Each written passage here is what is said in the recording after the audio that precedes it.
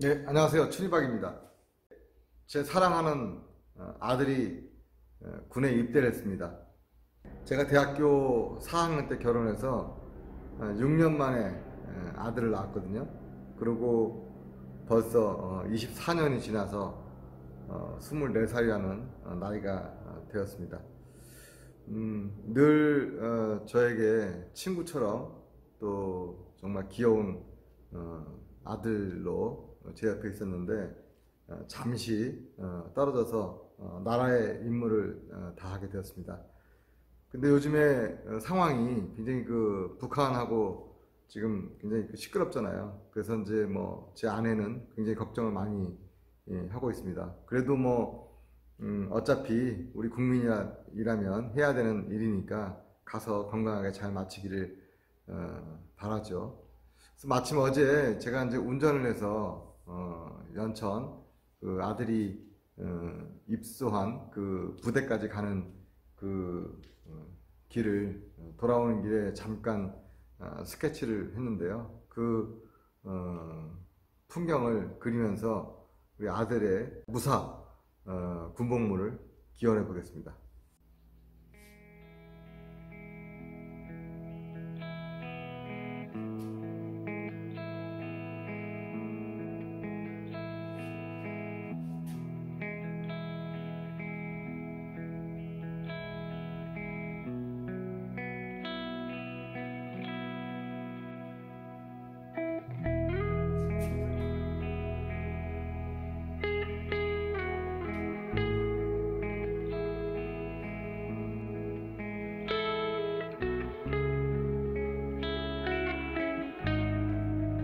이제 여름이니까 꼬불꼬불 라면통과 그다음에 소나무가 어, 엉켜 있는 그런 이제 풍경으로 그릴 겁니다.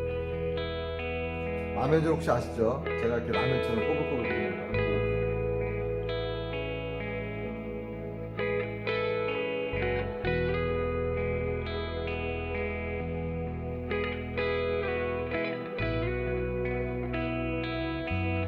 이렇게 꼬불꼬불한 거는 여기 참나무 정도예요. 가로로 시작하면.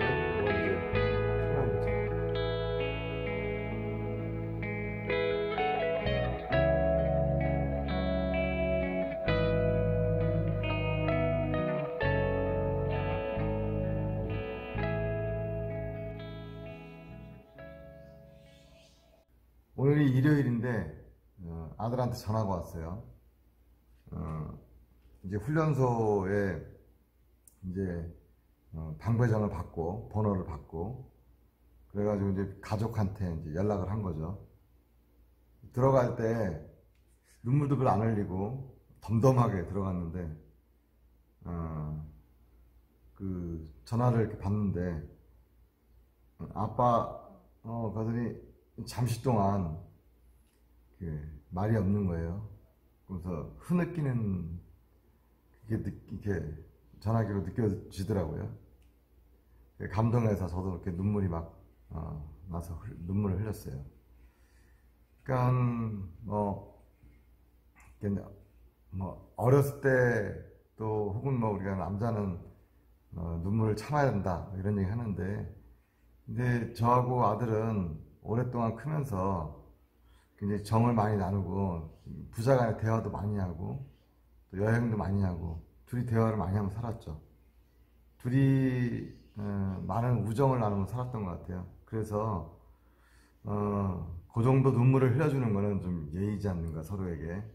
그래서 좀 더 마음이 훈훈해졌습니다. 그래서 이 그림을 그리면서 어, 좀 이제 어, 더 따뜻한 마음, 좀 포근한 마음 그런 마음을 어, 표현하는 그런 어, 작업으로 지금 진행하고 있습니다.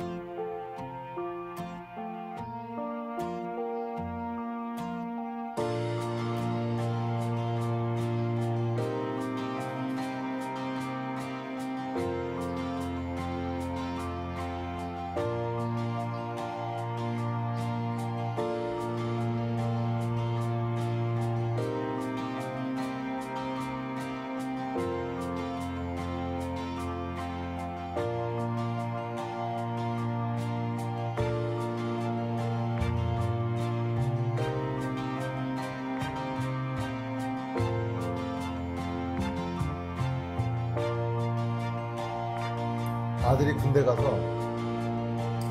제 마음이 너무 슬퍼요. 그래서 해가 어, 빛을 잃었어요. 대낮인데 하늘이 깜깜하고 해는 빛을 잃어서 비비고 제 마음을 여기다 표현하는 거죠. 화가 마음이니까.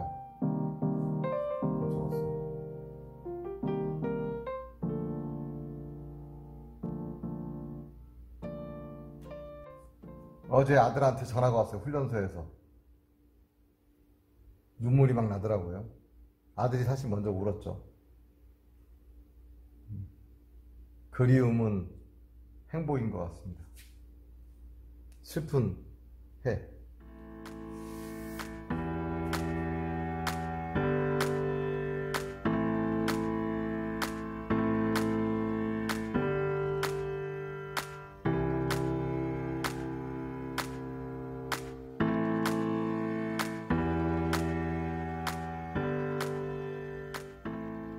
그림을 그리다 보면요, 막 마음이 막 변해요. 처음에는 여기에 어, 막 거친 어떤 그 막 터치로 뭔가 막 강렬한 저의 마음을 표현하려고 했는데 이 처음에 이제 어, 흐린 먹으로 구도를 잡고 이렇게 톤을 이렇게 쌓아가다 보니까 점점 어, 시간이 지나면서 막 그리움이 커지는 거죠. 막 가슴이 막 아들의 어, 문을 지나갈 때마다 어, 괜히 열면 그 안에 더 큰 그리움이 생길까봐 차마 그 아들의 방문을 열지 못하는 이 아빠의 심정. 아들은 알랑가 몰라요. 그래서 어쨌든 그 그리움을 이 그림을 통해서 표현했습니다. 흐린먹을 척척 쌓아가면서 어, 저의 그리움이 쌓이듯 그렇게 어, 표현을 했고요. 아들을 보러 가는 저의 설레임 이런 걸 표현하기 위해서 어, 제가 여행 시리즈로 그리고 있는 빨간 버스를 어, 넣었고요. 그 해가 굉장히 슬퍼요. 대낮인 것 같은데 하늘은 까맣고 해가 굉장히 막 녹아내리고 있어요. 어, 뭔가 저의 심정, 늘 걱정스러운 저의 심정과 어, 그리움을 저 하늘과 어, 해를 통해서 표현했습니다. 사실 이렇게 엄청 큰 화면에서 저기 조그마한 저 화면이 어, 작가의 이야기를 대변하기도 한다는 거 굉장히 좀 재밌죠.